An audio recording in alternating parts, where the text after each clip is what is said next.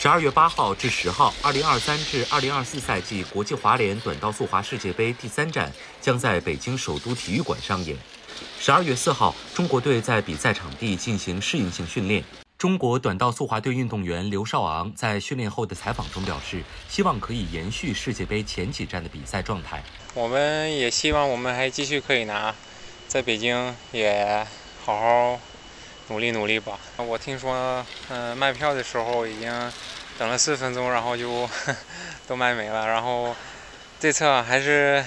比奥运会的时候关注人也比较多一些，所以就是不是说有有压力，但是可以说就是指定会给我们一个很好的就是嗯比赛的那个精神。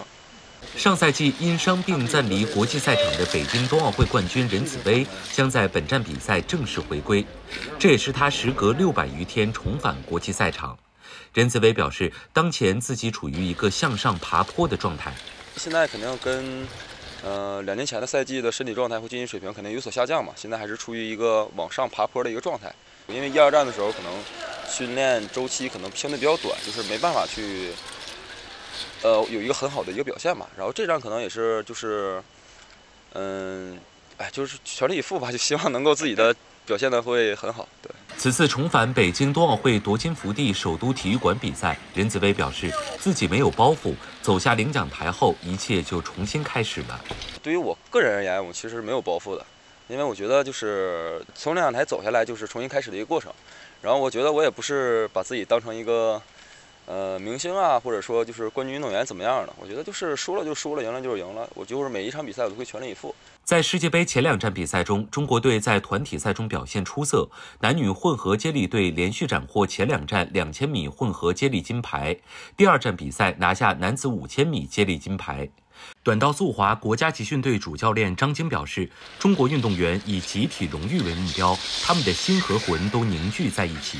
通过前段时间。的一个世界杯比赛呢，就是可以看出，就是呃，很多运动员有他们自身的一个提高。在这个期间，就是我们能看到，我们可能在呃团体的一个比赛当中的一个优势。在世界杯的第一站、第二站上呢，我觉得他们真是确实呃达到了我们一个锻炼、磨合相互之间一个交接、推人的一个这个目的。中国运动员首先他就是以这个集体。呃，荣誉为目标，所以说对他们来说，我觉得他们的心和他们的这个魂都在这儿，所以这也是他们能够说把这个项目打得更淋漓尽致的一个呃重要的一个能力吧。